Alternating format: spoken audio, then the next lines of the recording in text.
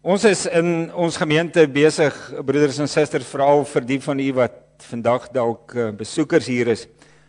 Ons is besig met 'n reeks prediking onder die groot tema Immanuel God is by ons, maar ons kyk daarna vanuit die Ou Testamentiese tabernakel, 'n wonderlike instrument wat die Here gegee het van waaruit ons ja iets meer kan verstaan van die Here se wonderlike nabyheid by ons. En dalk net vinnig om u net bietjie op hoogte te bring. Die Ou Testamentiese tabernakel het basies 3 dele gehad. Die eerste was die die voorhof gedeelte waarin die die volk kon kom en twee voorwerpe daarin was belangrik. Dit is die brandofferaltaar en dan daarmee saam die brons waskom. Dan was daar die heilige gedeelte van die tabernakel. Daarin kon net die priesters kom. Daar het gestaan die goue kandelaar, die tafel met die toonbrode en die reukofferaltaar. En dan was daar die allerheiligste gedeelte waarin net die hoëpriester eenmal 'n een jaar kon ingaan. Daar in die allerheiligste het die ark van die Here gestaan as teken van sy teenwoordigheid onder die volk, by hulle, saam met hulle op pad. Nou ons gaan vanoggend bietjie in fokus op daai tweede voorwerp wat in die voorhof staan, naamlik die die brons waskom. En ons gaan drie gedeeltes vooraf saam lees. U is welkom om dit saam met my te lees. Eksodus 30, Esegiel 36 en dan 'n gedeelte uit Johannes 7. Eers uit Eksodus 30 Hier kry Moses nou die opdrag van die Here oor die bou van die hele tabernakel en nou nou spesifiek oor die brons waskom. Die Here het vir Moses gesê jy moet 'n brons waskom met 'n brons voetstuk maak om in te was. Sit dit tussen die tent van ontmoeting en die altaar neer en gooi water daarin. Aaron en sy seuns moet hulle hande en hulle voete daarin was. Voordat hulle in die tent van ontmoeting ingaan, moet hulle hulle met water was sodat hulle nie sterf nie. Voordat hulle na die altaar toe kom vir hulle diens om 'n vuuroffer vir my die Here aan die brand te steek, moet hulle hulle hande en voete was sodat hulle nie sterf nie. Dit is 'n blywende voorskrif vir hulle en vir hulle nageslag. En dan lees ons ook 'n gedeelte uit Esegiel 36 vanaf vers 25 af. Ek gaan dit in die prediking vir u later verder verduidelik. Esegiel 36 vanaf vers 25. Daar's die Here aan die woord. Hy sê ek sal reinigingswater oor julle uitgooi sodat julle rein kan word. Ek sal julle reinig van al julle onreinheid en van julle en van julle afgoderry. Ek sal julle 'n nuwe hart en 'n nuwe gees gee. Ek sal die kliphart uit julle liggaam uithaal en julle hart van vleis gee. En nou belangrik, ek sal my gees in julle gee. En ek sal maak dat julle volgens my voorskrifte leef en my bepalinge gehoorsaam en nakom. En dan lees ek ook 'n gedeelte uit Johannes 7 vanaf vers 37. Hier is ons Here Jesus Christus aan die woord. Op die laaste dag, die groot dag van die Hittefees, het Jesus daar gestaan en uitgeroep: As iemand dors het, laat hy na my toe kom en drink. Met die een wat in my glo, is dit soos die skrif sê, strome lewende waters sal uit sy binneste vloei. Hiermee het hy na die Gees verwys. Want die mense wat tot geloof in hom kom, sou die Gees ontvang. Die Gees was nog nie uitgestort nie omdat Jesus toe nog nie verheerlik was nie.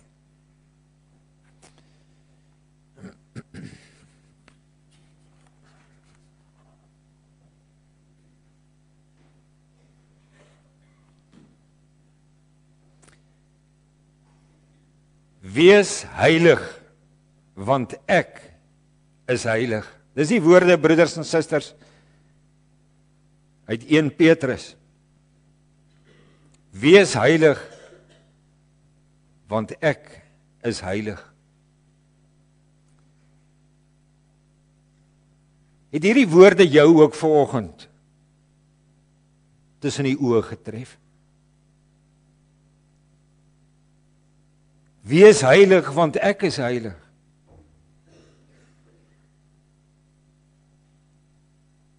Hoor nog hier uit Hebreërs. Beywer julle vir heilige lewe waar sonder niemand die Here sal sien nie.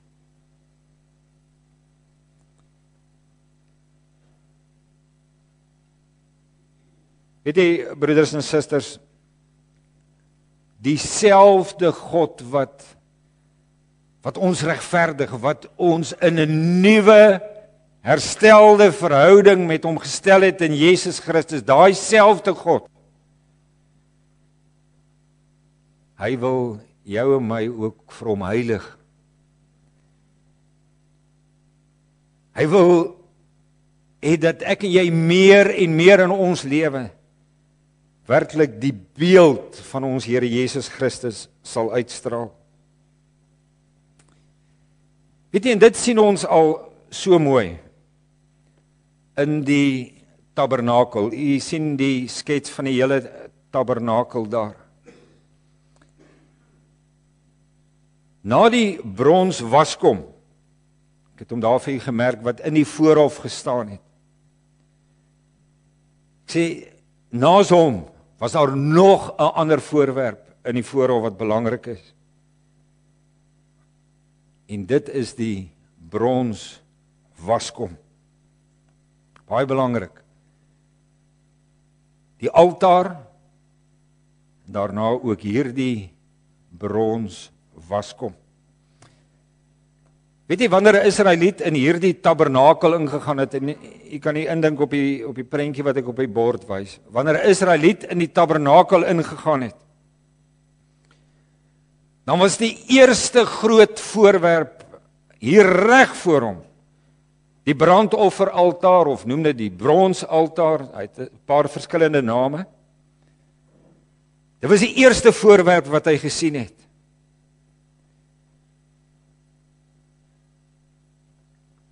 Op hierdie altaar is daar mense kan sê van die oggend tot die aand die een offer na die ander gebring.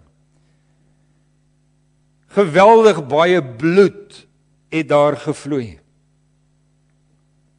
Die een dier na die ander is daar geoffer. Dier op dier is daar geoffer. Omdat daai offeraar geglo het dat ek moes eintlik sterf. Ek moes eintlik self sterf vanweë my sonde. Maar God stel iets anders in die plek daarvan. En hoe die Here dit gedoen het broeders en susters, dit het aan die Here oorgelaat.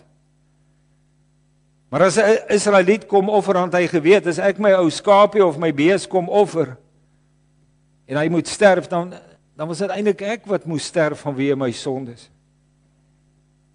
Maar die Here is my genadig. En weet jy op Golgotha, daar waar ons Here Jesus Christus gekruisig is, het God dit nou baie baie duidelik gemaak. Soos wat daai offerdier in die plek van die offeraar geoffer is. So het ons Here Jesus Christus homself in ons plek as offer gegee. vir betaling vir ons sondes vir verzoening met God.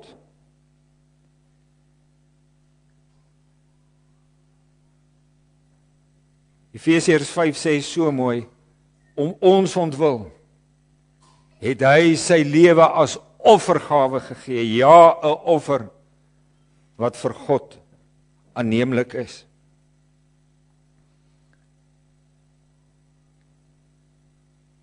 Weet jy hierdie offer van ons Here Jesus Christus van homself op Golgotha om aan jou en my 'n nuwe herstelde verhouding met God te gee.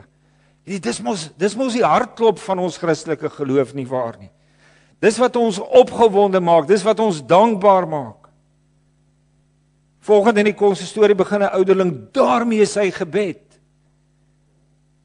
Want dis die hartklop, die spul van van ons Christelike geloof.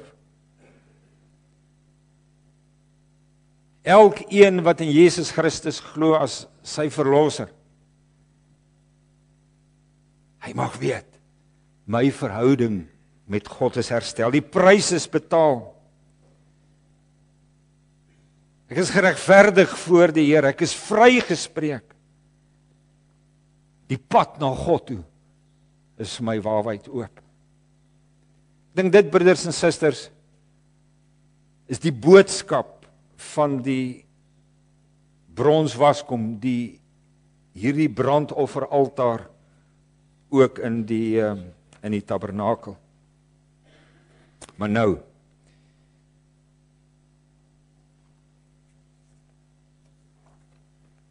elke gelowige wat wat hom absoluut verbly in in die feit dat Jesus Christus vir sy sondes betaal het, dat sy verhouding met God herstel is. Sê elkeen van daai gelowiges weet maar al te goed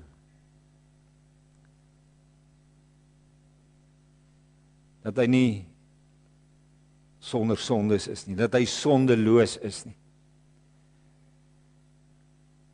Ek dink broeders en susters en dit sal ons vanoggend almal uit ons hart uit erken dat ook in aan my as as 'n gelowige wat die Here liefhet, wat dankbaar is oor die offer wat Christus vir my gebring het. Ek weet aan my kleef daar nog geweldige sonde vuilheid. Ek hou mos nie altyd van dit wat ek in my hart sien nie. Of van selfs van dit wat ek by tye doen nie.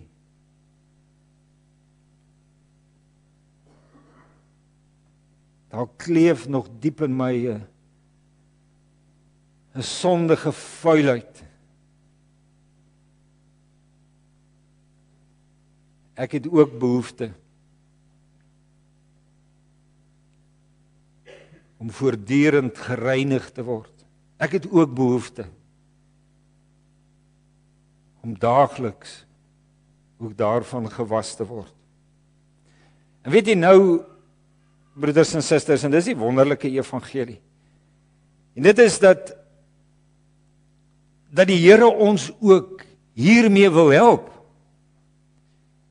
Want dieselfde God wat ons in Jesus Christus vrygespreek is, Hy wil ons ook neem. Ons heilig. Van ons as sy duur gekoopte kinders meer en meer 'n kind maak wat die beeld van Christus uitstraal.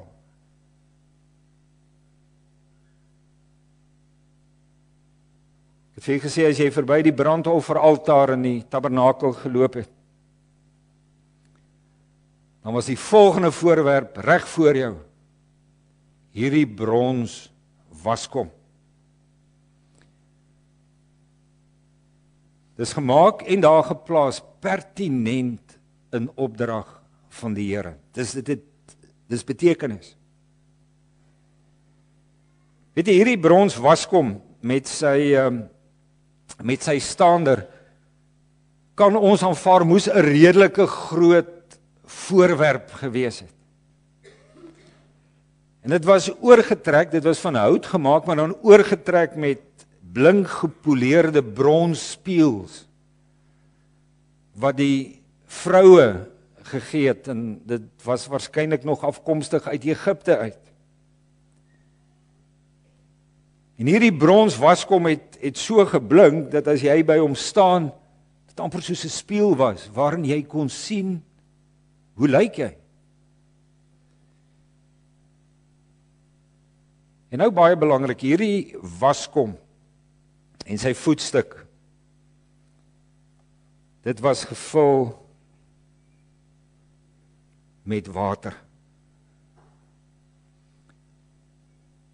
Dit was daar geplaas en dit was nou die opdrag van die Here sodat die priesters telkens daar hulle hande maar ook hulle voete kon gaan was.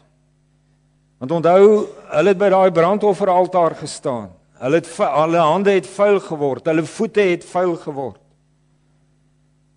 Die Here het dit daar geplaas sodat hulle hulle kon gaan was. Maar die Here het ook gesê voordat daai priester nou in die tabernakel kon ingaan om byvoorbeeld die kandelaar se lampe te gaan versorg of na die toonbrode te gaan kyk. Die Here het gesê voordat jy daar ingaan moet jy hulle ook gaan was. En dit was 'n pertinente opdrag van die Here. Hy het gesê die priesters moet dit doen en hulle nageslag. En hy het gesê as julle dit nie doen nie, as julle sommer daar in die heilige maar ingaan so vuil soos wat julle is, dan sal julle sterf, het die Here gesê. En nou is die nou mag u vir oggend vra maar Reinder Wat het dit met my lewe te doen? Onthou 'n bietjie baie mooi. Ook ek en jy as 'n Christen gelowige is geroep om priesters vir die Here te wees. Dit staan op baie plekke in die Bybel. Gelees maar byvoorbeeld 1 Petrus. Ek en jy is geroep om priesterlike diens aan die Here te lewer. Ek en jy is geroep om as priesters te verkeer in die in die wonderlike teenwoordigheid van die Here.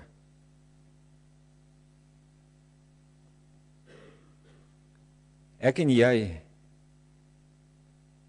het ook daaglikse reiniging nodig om waardige waardige priesters vir die Here te wees. Ons kan sê ek en jy het skoon water nodig. Om by wyse van spreuke ons hande en ons voete te was. Te was van daai daai aglike sondige smet wat nog aan my vassit. Van my sondige vuilheid. Van wat in my kleef. En hoe gebeur dit? Weet jy skoon water? Ons kan sê skoon water word die Here aan aan ons gegee. Skoon water is in die Bybel altyd die teken van die Heilige Gees en vir sy kragtige werk in mense se lewens. Dink net vir 'n oomblik aan Esegiel waaruit ons gelees het. Daar het die Here gesê ek sal reinigingswater oor julle uitgooi sodat julle rein kan word. Ek sal julle reinig sê die Here. En dan sê hy ek sal my gees in julle gee. Want weet jy broeders en susters, dis deur daai wonderlike werk van die Heilige Gees dat ek nie blind is vir hierdie sondige vuilheid wat nog so aan my kleef nie. En dat ek werk maak daarvan. Dis die Heilige Gees wat ons help om daai dinge af te sterf. Daai dinge dood te maak in ons lewe. En om meer en meer die nuwe lewe te leef wat ons van die Here ontvang het. Ek hoop jy het ver oggend in die doopsbediening gehoor wat die Heilige Gees aan elkeen van daai kinders beloof het.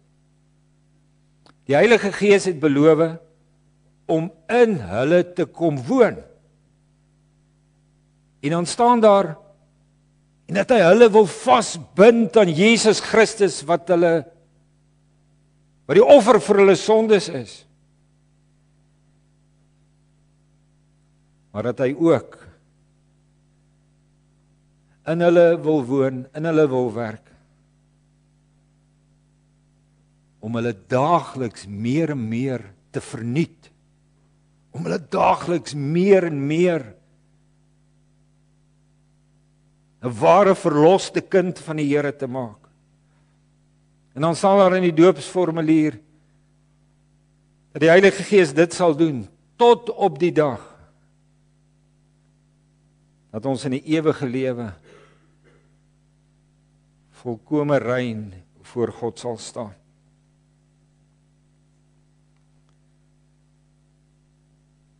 Die bron waaruit hierdie water na ons toe kom. Die bron waaruit die Heilige Gees kan ons sê so skoon water ons lewe instroom en oorstroom. Die bron daarvan het ons Here Jesus gesê is hy self. Hy's die fontein van lewende water. Want hy het nie net vir ons sondes betaal nie. Hy wil ons ook deur hierdie wonderlike werk van die Gees meer en meer nuut maak. Om meer en meer iets van sy beeld te vertoon.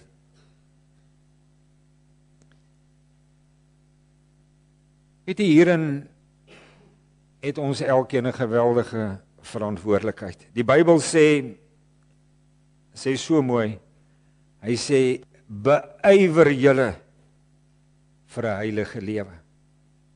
Beywer julle daarvoor.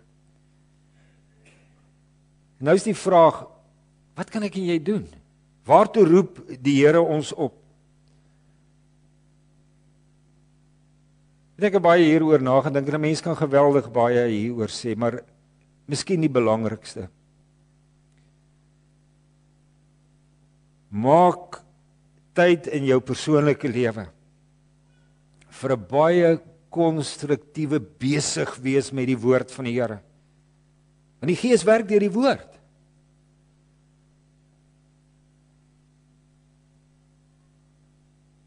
Dit ons hardloop almal. Ons is baie besig. Miskien is is die een van die grootste uitdagings om in ons lewe wat prima tyd, goeie tyd te gee aan my lees, my oordink, my nadenke oor dit wat die Gees deur die woord vir my sê.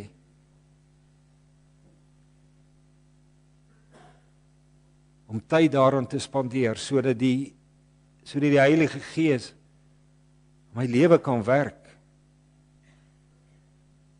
Sodat hy my kan vorm.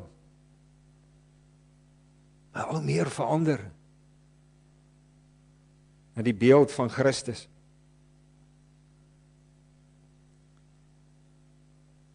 Dit maak ook baie tyd vir gebed. Weereens moet ons vir mekaar sê in hierdie lewe wat gejaag is. Ons doelbewus keuse maak vir goeie tyd in gebed. van praat met die Here oor hierdie sondige feilheid waarvan jy ook nie hou nie. Praat met hom daaroor. Praat met hom dalk oor jou louheid en jou koudheid in jou geloofslewe. Praat met hom oor jou meer wat sou kan opvlam.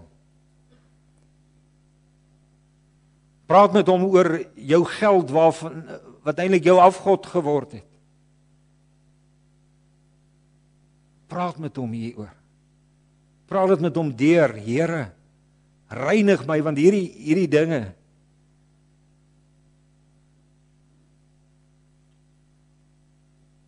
nie goed nie, is nie reg nie. En as jy daarin gebed is, smeek die Here vir daai kragtige werking van sy Gees. Om daardie ek wil dit noem sondige mors uit jou lewe uit uit weg te kry, weg te werk. Vra hom, Here, lei my hierin. Here, help my om om in toewyding aan U te groei. In ware geloof en gehoorsaamheid en in liefde. Weet jy as ons dit doen? Dink ek het ons die dieselfde versekering as wat die priesters van die Ou Testament gehad het. Weet jy hulle het nooit te vergeefs na skoon water gaan soek nie. Hy was kom was altyd vol skoon water. Hulle kon keer op keer, 10 keer op 'n dag, 100 keer op 'n dag. Hulle hande en hulle voete gaan was. En die heerlike versekering wat ek en jy het is dat ons nooit te vergeefs by die groot geestelike fontein ons Here Jesus Christus sal uitkom nie. Dat ons nie te vergeefs na hom sal soek nie.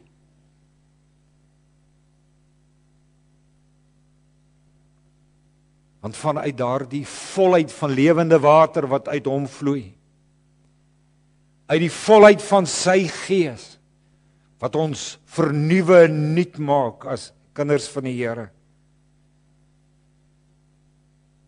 is daar vir ons elkeen genade op genade. Wonderlike vernuwingsgenade. Om net meer en meer die nuwe mens te word wat die Here my gemaak het. Om meer en meer Christus se beeld uit te dra. Mag u dit so beleef? En mag u hierdie hierdie wonderlike groei ook in in u geloofslewe ervaar. Amen. Ons hemelse Vader, ons ons dankie en ons aanbid U en verheerlik U. As die God wat die offer gegee het vir ons sondes, U seën ons Here Jesus Christus. Ons dankie dat ons mag weet dat ons in Hom die lewe het met u versoen is, u kinders is. Maar ons wil ook bid, Here, dat u ons as u kinders dat u kragtig deur u gees in ons sal bly werk. Dat ons meer en meer daai nuwe mense sal word wat u ons gemaak het. Vader, reinig ons van al ons sonde nonsens, die vuilheid wat daar in ons lewe is. Werk kragtig deur u gees in ons. Maak ons meer en meer nuut. En mag ons ook in mekaar se lewe die wonderlike en kragtige werk van u gees bly sien. Ons bid dit van u om Christus ontwil. Amen.